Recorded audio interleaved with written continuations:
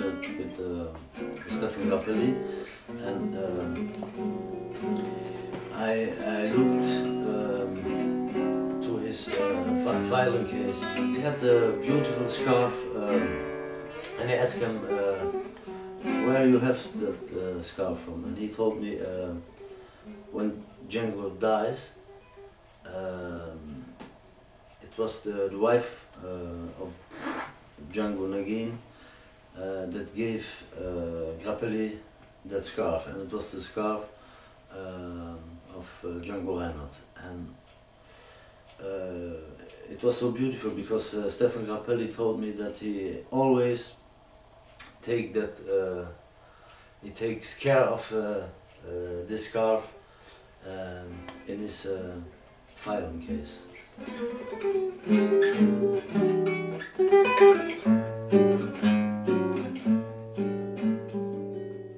When I talk uh, about uh, this project, uh, Djangologist, uh, with Nushanoni, uh, uh, they said also that uh, the 100 years of Django in 2010, uh, we must do something special with this. So when we decide to, to, to, to make this album Djangologist, um, just before uh, we, we had the date for the studio, uh, Biréli Lagrène calls me and uh, I said, uh, bon, now we're going to, to, to make that, uh, that Django CD and what do you think uh, if you, if you play something uh, with me on this, uh, on this uh, CD? And actually he was very cool, he said, no problem. And I, he gave me uh, some dates and uh, we make it happen.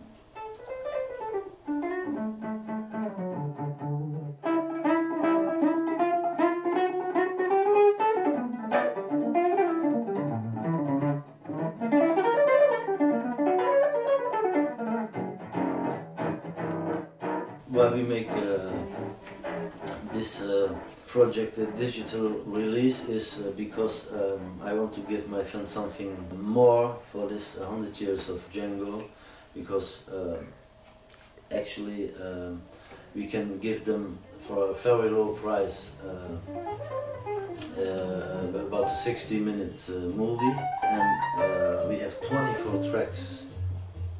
I, I think uh, in the gypsy jazz uh, th- th- there are not a lot of uh, CDs with 24 tracks uh, and uh, actually also it gives me a little bit more freedom to produce what I want.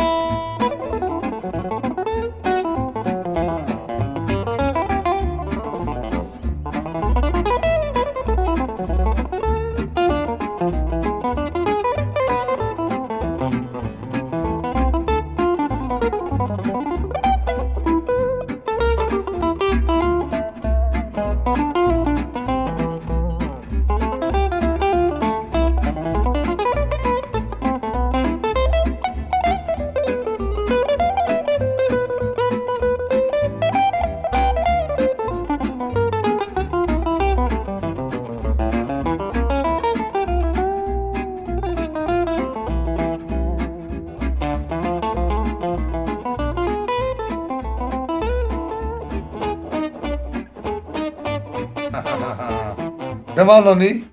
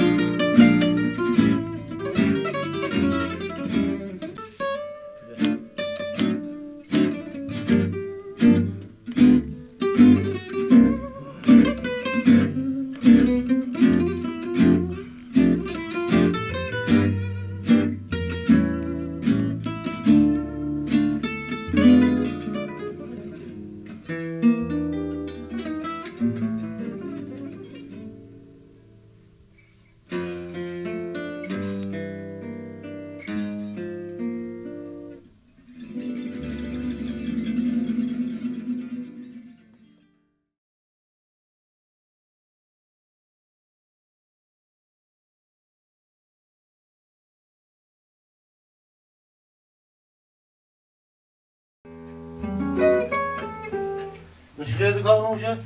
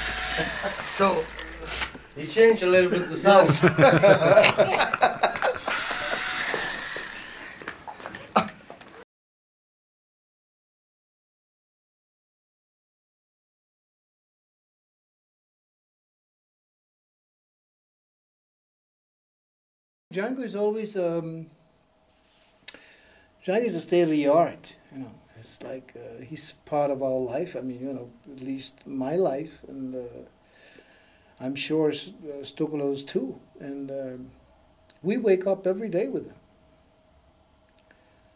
and he's you know, he's a, a maestro. I would say. I could tell uh, a lot about Django Reinhardt, and I'm sure Stokolo would could tell a lot about Django Reinhardt too. For us gypsy people, you know, it's like Django, you know, it's like uh, he was a very interesting person, not only because of his music and of his talent as a guitar player, but uh, he was, you know, the, the, the, person, the character was uh, was amazing, and uh, there are a few stories for those who know Django, those who read books about Django, they know. So I leave that up to those people who haven't read Django's book to discover it. If one name should come across is uh, in this kind of music is uh, I think it should be um, Mr. Rosenberg because uh, Rosenberg is probably one of the most uh, the guitar player who represents the most the music of Django Reinhardt.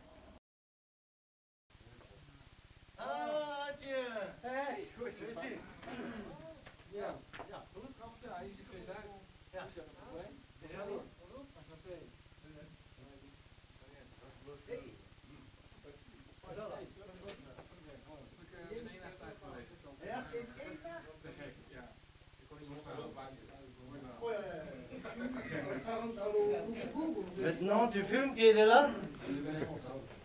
Et moi alors?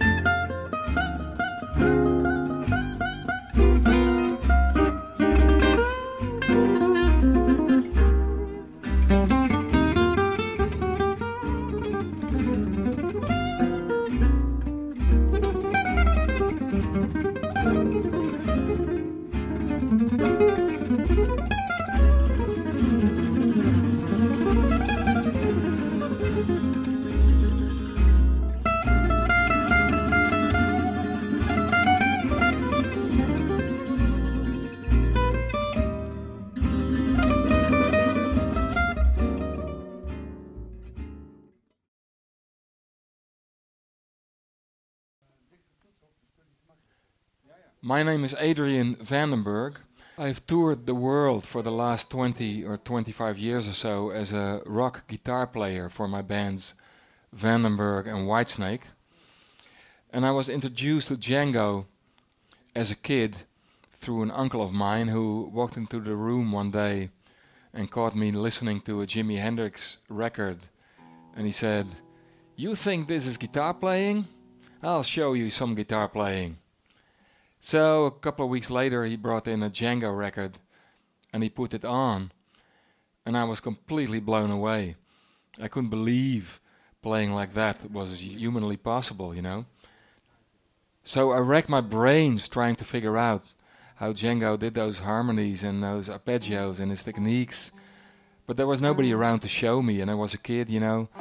I decided to stick with Hendrix and maybe try to figure it out later also looking back um, to the first generation of rock guitar players uh, that were influenced by Django Reinhardt, guys like uh, Jeff Beck, Jimi Hendrix, Eric Clapton, Ritchie Blackmore, Peter Green of the original Fleetwood Mac, and in Holland, Jan Akkerman.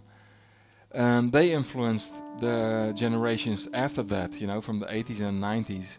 And these guys don't even realize they've indirectly been influenced by the techniques and um, the arpeggios from Django Reinhardt.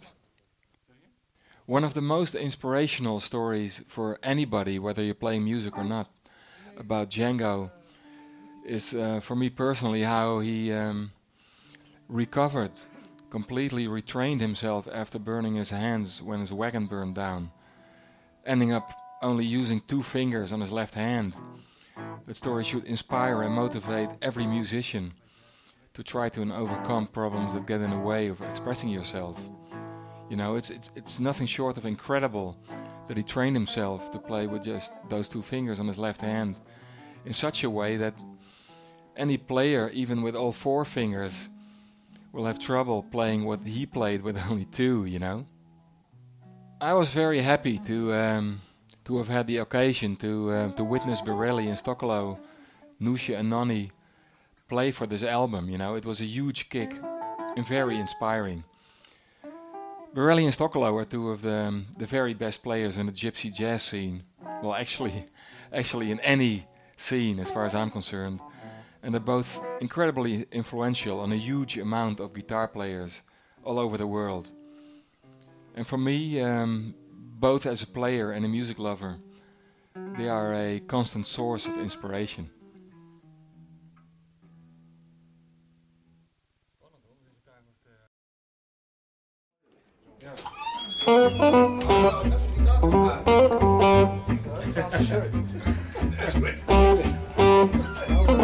That's.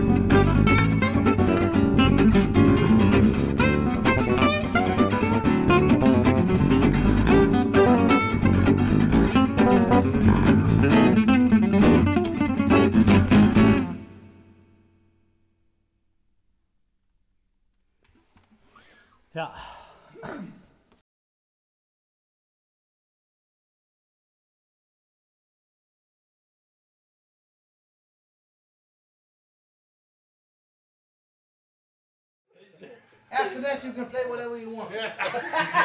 Nobody cares.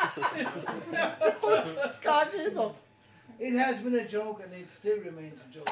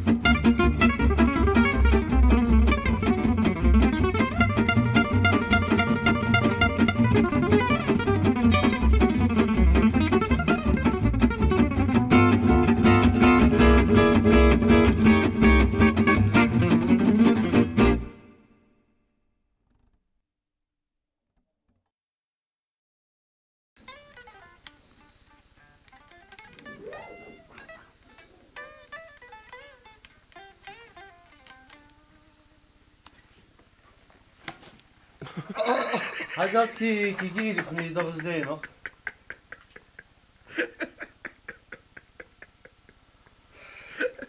Oh, no.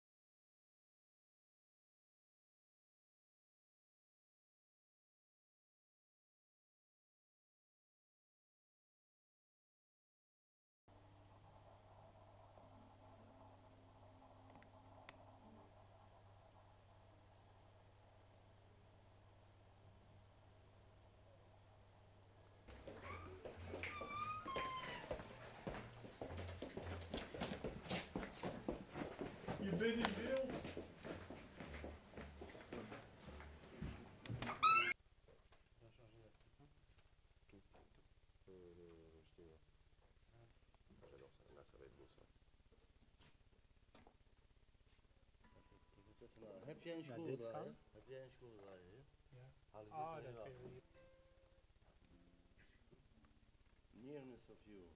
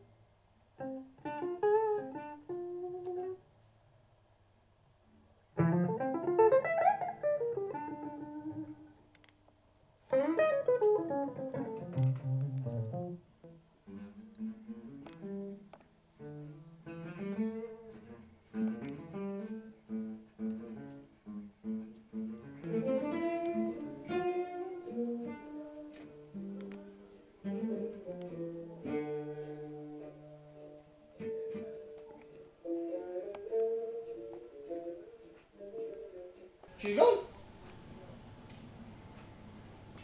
Est là. We have to take this mouche, we shoot him down. Go out from the studio. We don't come station, you know? I have to kill this mouche. Pêche à la mouche.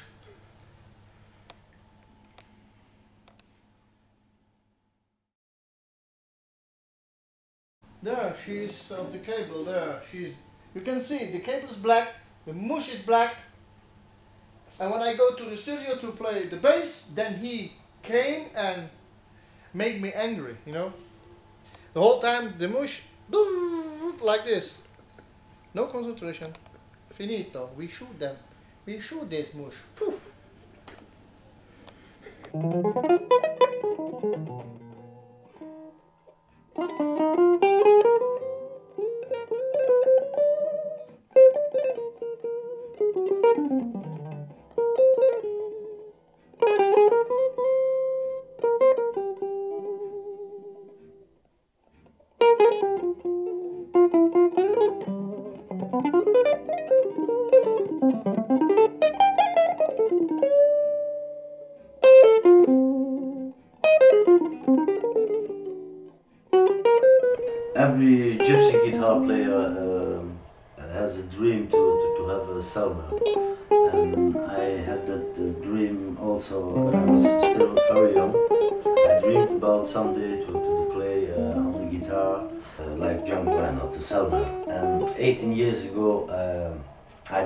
this guitar. For me it's my, my only one. And the special thing on this guitar is because he's signed with uh, Django Reinhardt, and I have seen uh, have seen some uh, pictures uh, of the Django Reinhardt guitar in uh, the museum in uh, Paris, and it's, it's actually the same guitar. And um, my number is the 504, and Django has the 503. So uh, that makes me very happy to have uh, a Django guitar in the same series like uh, Django Reinhardt. Sometimes uh, I'm thinking about maybe Django has tried this guitar also when he had the deal with Selmer. So he, he tried the 504, he tried the 503, maybe the 502 or the 505, I don't know. And actually he chose the 503, I think. But I'm always im- imagine that maybe Django has playing this guitar also, just trying something or something. That that makes me, uh, uh, that gives me a happy uh, feeling about this guitar.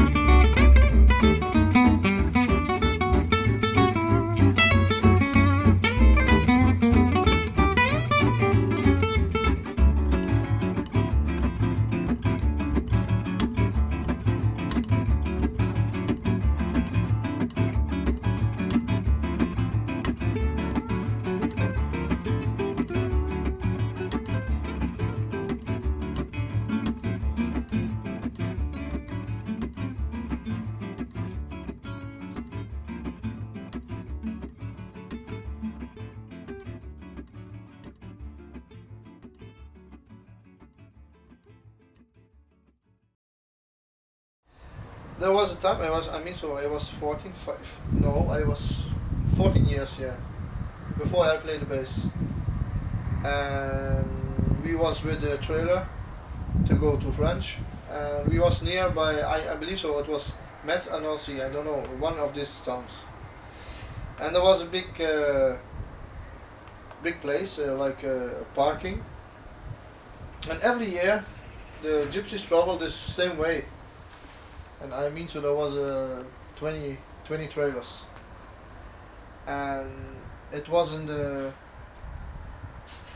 just in a, in a, in a day. And, and, and, and my father he, he said to me take your guitar and uh, we try to play together. And at this moment my, my father we was playing with my father. And, and, and there was a caravan and maybe uh, 50 meters from there. And there was a man with his wife sitting down by his cabin. He was eating something, and he heard that my father he was playing like uh, the, the, the the melodies from Django. At this moment, we was a play, and he heard us, and that we we played that, and in that moment, okay, uh, and this man he began to speak with my father, and you know, he told us the story he was the brother-in-law from Django and everything. Oh, for, for, for us was just like a dream. You know, we remember me from uh, just from the records, you know, and the photos. And uh, there was a brother from Django, Joseph. And we was very young, and never we, we think about that we uh, meet uh, meeting this uh, man. And my father, he take his guitar with him, and he play together with him and in the moment that we played together there, uh, there came a one of this one of- one of the moments she came, and she crying. She was she wasn't crying, and then uh, one of the guys asked her why she cried. It was the the sister from Django. You know, she remember her brother. She tell uh, stories from Django and everything. For me, was it like like a dream and for my father same. While my father he was a big fan from Django. And this moment he played with uh, the brother-in-law from Django. Oh, that was really for my father was like like a dream, and for me was the big dream. Okay, never I think about that we play with this man. Never I uh, thank to myself that I, I, I play with these people. You know. After this I play with Stéphane Grappelli you know my dream is a big dream. Just what I like. You know? I take it with me in my heart.